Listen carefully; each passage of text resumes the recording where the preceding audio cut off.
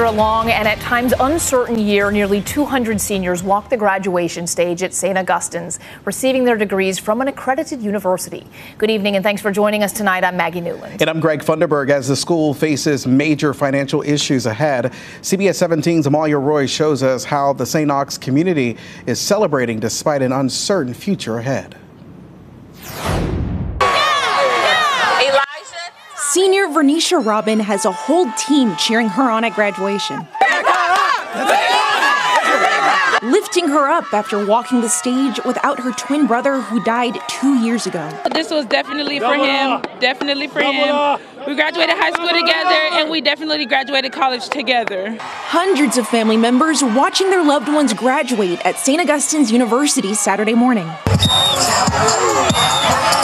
The class of 2024 graduates with degrees from an accredited university, but we still don't know if that's going to be the case next year. The Southern Association of Colleges and Schools voted to strip the university's accreditation in late 2023. After a failed appeal, St. Aug's keeps its accredited status as it fights the decision in the courts. We actually have a meeting coming up soon to talk to them what that what that process may look like.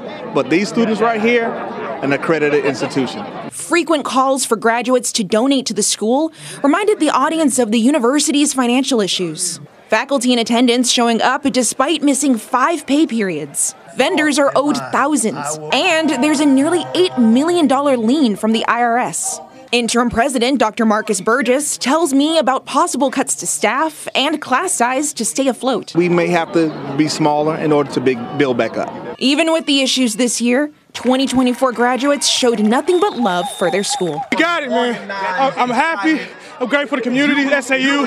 I love it here, man. Always gonna be a Falcon. Always gonna be a Falcon, man. In Raleigh, Amalia Roy, CBS 17 News.